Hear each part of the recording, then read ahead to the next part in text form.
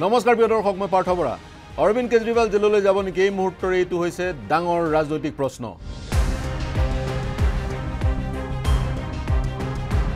সঞ্জয় সিং সত্যেন্দ্ৰ জৈন মনীষ চিচোদিয়াৰ পিছত এইবাৰ অৰবিন্দ কেজৰিৱাল জেললৈ যাব নেকি? আৰু যদিহে অৰবিন্দ কেজৰিৱাল জেললৈ যায় দিল্লীৰ মুখ্যমন্ত্ৰীৰ দায়িত্ব কোনে ল'ব? এনেবোৰ প্ৰশ্ন আজিৰ তাৰিখত আপৰ মজিয়াতো প্ৰাসংগিক হৈ পৰিছে।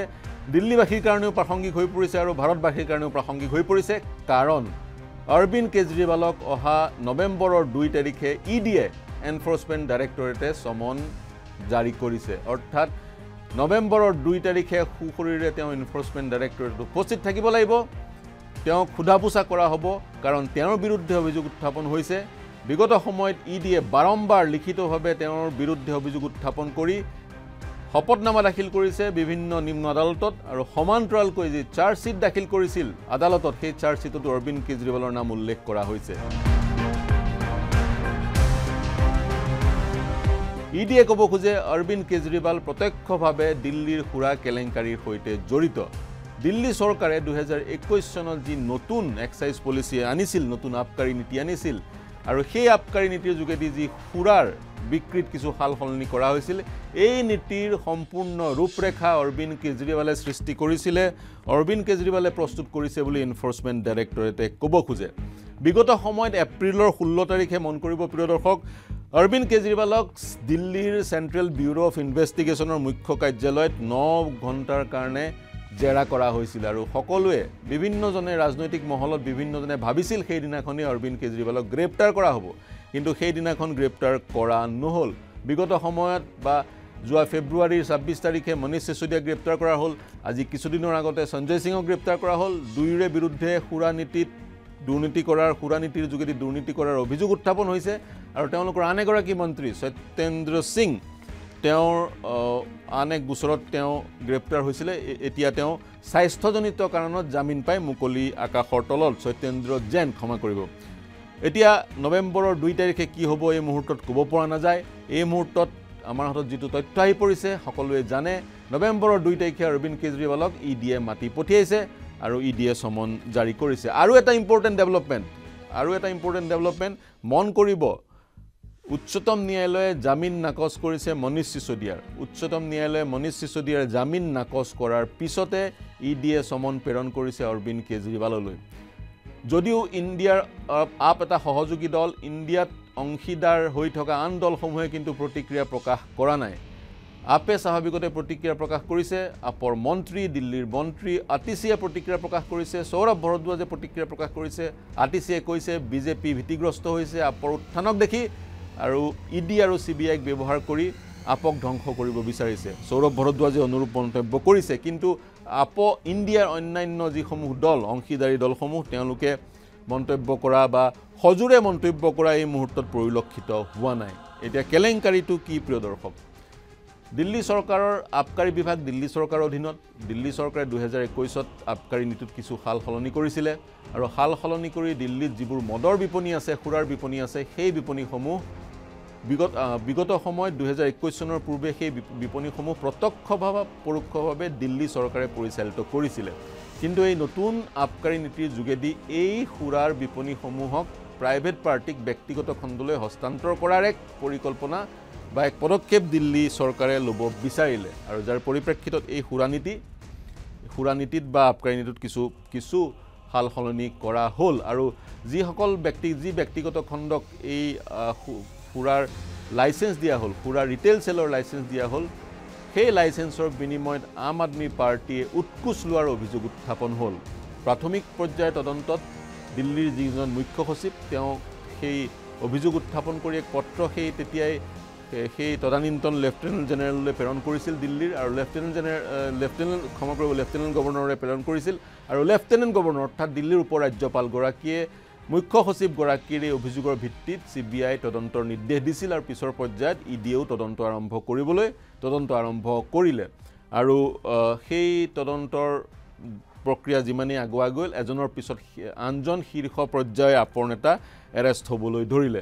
এতিয়া বহুতে ক'ব খোজে পাঞ্জাৱৰ নিৰ্বাচনৰ কাৰণে আম আদমী পাৰ্টীক পইচাৰ প্ৰয়োজন হৈছিল যাৰ পৰিপ্ৰেক্ষিতত এই প্ৰক্ৰিয়াৰ যোগেদি তেওঁলোকে সেই ধনসমূহ লাভ কৰিলে যিবোৰ ধন খৰচ কৰা হ'ল পাঞ্জাৱৰ নিৰ্বাচনত কিন্তু ইয়াৰ তথ্য ইয়াৰ কোনো তথ্য চাৰ্জশ্বিটত বা এনেধৰণৰ কথা চাৰ্জশ্বিটত ই ডিয়ে উল্লেখ কৰা নাই বা চি বি আইয়ে উল্লেখ কৰা নাই।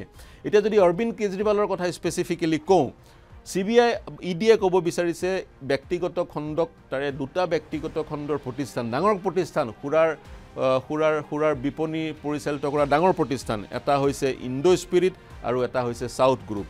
ইণ্ডো স্পিৰিট আৰু চাউথ গ্ৰুপক দিল্লীৰ বহুকেইটা alcohol retain retail zone alcohol retail zone অৰ্থাৎ মদৰ খুচুৰা বিক্ৰী কৰা যিসমূহ সংমণ্ডল গঠন কৰা হৈছিল সেই সংমণ্ডলৰ একাধিক সংমণ্ডল এওঁলোকে লাভ কৰিছিলে। আৰু এওঁলোকে লাভ কৰাৰ পিছত যি profit margin profit margin five পাৰ্চেণ্টৰ পৰা টুৱেল্ভ পাৰ্চেণ্টলৈ অৰ্থাৎ লাভালাভ পাঁচ শতাংশৰ পৰা বাৰ শতাংশলৈ বৃদ্ধি কৰা হৈছিলে।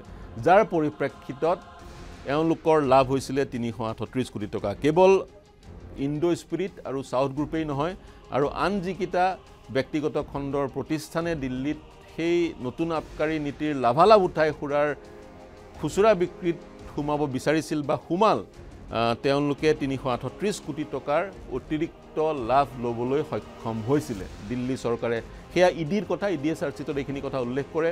দিল্লী চৰকাৰে ইয়াৰ প্ৰত্যুত্তৰ দি ক'লে এই প্ৰক্ৰিয়াৰ যোগেদি দিল্লীৰ যি ৰাজকোষ সেই ৰাজকোষ টনকিয়াল হ'ল আৰু সুৰাৰ বজাৰখনত এক প্ৰতিযোগিতাৰ সৃষ্টি হ'ল আৰু প্ৰতিযোগিতাৰ সৃষ্টি হোৱাৰ ফলত সুৰাৰ যি সুৰাৰ যি ষ্টেণ্ডাৰ্ড সুৰা বিক্ৰীৰ যি ষ্টেণ্ডাৰ্ড মানদণ্ড সেই মানদণ্ডৰ উত্তৰণ হ'ল এই মন্তব্য দিল্লীৰ দিল্লী চৰকাৰৰ। কিন্তু এই মুহূৰ্তত এই মুহূৰ্তলৈকে অৰবিন্দ কেজৰিৱালে কোনো মন্তব্য প্ৰদান কৰা নাই। এতিয়াও জনোৱা নাই তেওঁ। অহা দুই তাৰিখে তেওঁ সুশৰীৰে উপস্থিত থাকিব তেওঁ তেওঁৰ অধিবক্তাই তেওঁক প্ৰতিনিধিত্ব কৰিব সেই কথা এতিয়ালৈকে জনোৱা হোৱা নাই। কিন্তু ই ডিৰ চমন জাৰি কৰা হৈছে গতিকে ই ডিৰ চমনৰ ই ডিৰ চমনৰ পিছত তেওঁ সুশৰীৰে ই ডিৰ কাৰ্যালয়ত উপস্থিত থকাৰ সম্ভাৱনাই বেছি। এতিয়া আৰু যদি ডিটেইলত যাওঁ মন কৰিব যি সুৰা নীতি সেই সুৰা নীতি বাতিল কৰা হৈছিলে।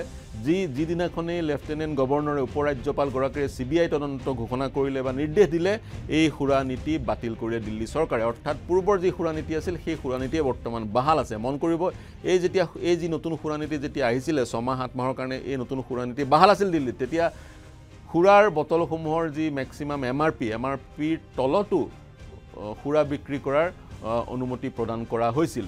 আৰু সুৰাৰ আহ, বিপণীসমূহত তেতিয়া যথেষ্ট ভিৰ পৰিলক্ষিত হৈছিল।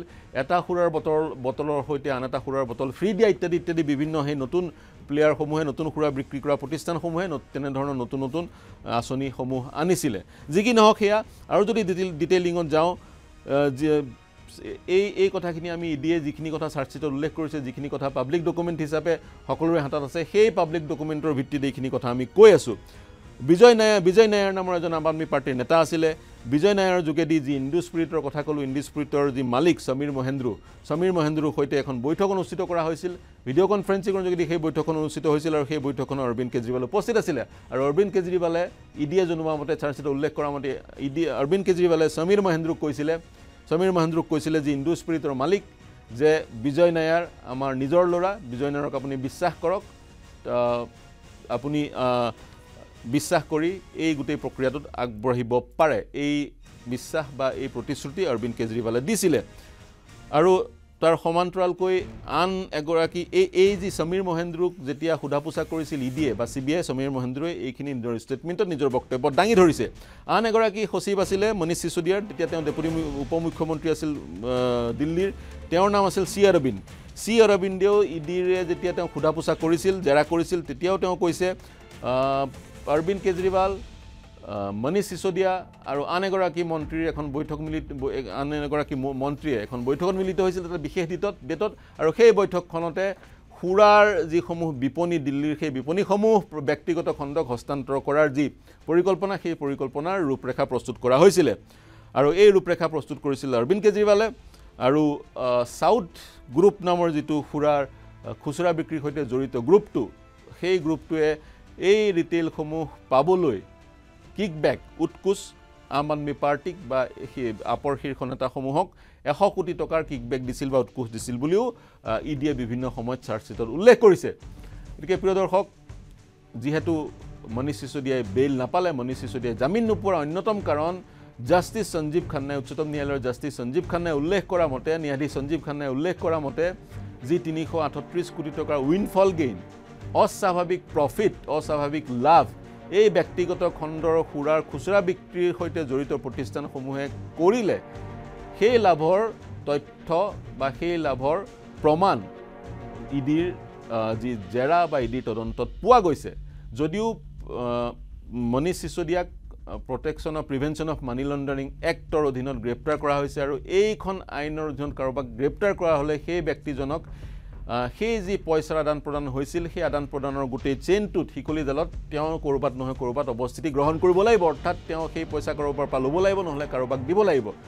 উচ্চতম ন্যায়ালয়ে যোৱাবেলি কৈছিলে অন্তিমটো শুনানিত কৈছিলে মনীষ চিচুদিয়াৰ বিৰুদ্ধে তেনেধৰণৰ কোনো অভিযোগ নাই বা প্ৰমাণ নাই। কিন্তু এইবাৰ ক'লে উচ্চতম ন্যায়ালয়ে জামিন নাকচ কৰি ক'লে যি তিনিশ আঠত্ৰিছ কোটি টকাৰ অস্বাভাৱিক লাভ এই ব্যক্তিগত খণ্ডৰ সুৰাৰ খুচুৰা বিক্ৰী কৰা প্ৰতিষ্ঠানসমূহে পাইছিলে তাৰ কিন্তু প্ৰমাণ আছে আৰু সেইকাৰণেই এই মুহূৰ্তত মনীষ চিচোদিয়াক জামিন দিব পৰা নাযায়। আৰু জামিন নিদিয়াৰ অন্য এটা কাৰণ হৈছে চৰকাৰী উকিলজনে প্ৰতিশ্ৰুতি দিছে ফাষ্ট ট্ৰেক কোৰ্টত ট্ৰায়েল শুনানি আৰম্ভ কৰা হ'ব আৰু ছমাহৰ পৰা ন মাহৰ পিছত শুনানিৰ অন্ত পেলোৱা হ'ব শুনানিৰ অন্ত পৰিব। আৰু মনীষ চিচোদিয়া দোষী সাব্যস্ত হয় নে নহয় বা তেওঁ তেওঁ তেওঁক দোষমুক্ত হয় তেতিয়া গম পোৱা যাব। আৰু উচ্চতম ন্যায়ালয়ে আৰু এটা নিৰ্দেশ দিছে তিনি মাহৰ পিছত যদি মনীষ চিচোদিয়াই অভিযুক্তগৰাকীয়ে উপলব্ধি কৰে অনুভৱ কৰে বিচাৰ প্ৰক্ৰিয়াত যি ধৰণে ত্বৰান্বিত গতিত আগবাঢ়িব লাগিছিল আগবঢ়া নাই তেওঁ পুনৰ জামিন উচ্চতম ন্যায়ালয়ত জামিনৰ আবেদন জনাব পাৰে। এয়াই হৈছে এই মুহূৰ্তলৈকে ডেভেলপমেণ্ট। আমি অপেক্ষা কৰিব লাগিব নৱেম্বৰ দুই তাৰিখলৈকে। নৱেম্বৰ দুই তাৰিখে অৰবিন্দ কেজৰিৱালক জেৰা কৰাৰ পিছত ইনফ এনফৰ্চমেণ্ট ডিৰেক্টৰে কি পদক্ষেপ গ্ৰহণ কৰে আৰু যদিহে অৰবিন্দ কেজৰিৱালক গ্ৰেপ্তাৰ কৰে তাৰ পিছত আপৰ পৰৱৰ্তী পদক্ষেপ কেনেকুৱা হ'ব ইণ্ডিয়াৰ আন আন অংশীদাৰী দলসমূহে এই সমগ্ৰ প্ৰক্ৰিয়াটো কেনেকৈ আগবঢ়াই লৈ যাব তেওঁলোকৰ প্ৰতিক্ৰিয়া কি হ'ব এনে এইবোৰ বিষয়ে যথেষ্ট গুৰুত্ব বহন কৰিব কাৰণ এজনৰ পিছত আনজন বিৰোধীৰ নেতা মূলতঃ আপৰ নেতাক জেলত জেলত যাবলগীয়া হৈছে। নিৰ্বাচনৰ প্ৰাক মুহূৰ্তত নিৰ্বাচন সমাগত সাধাৰণ নিৰ্বাচন সমাগত তাৰ আগত তাৰ কেইমাহমান আগত এজনৰ পিছত আনজন নেতাই এনেধৰণে গ্ৰেপ্তাৰ হোৱাৰ প্ৰক্ৰিয়াটোৱে অনাগত দিনত ভাৰতবৰ্ষৰ ৰাজনৈতিক ক্ষেত্ৰখনত কেনেদৰে প্ৰভাৱ বিস্তাৰ কৰে এই মুহূৰ্তত এয়াও এক ডাঙৰ প্ৰশ্ন।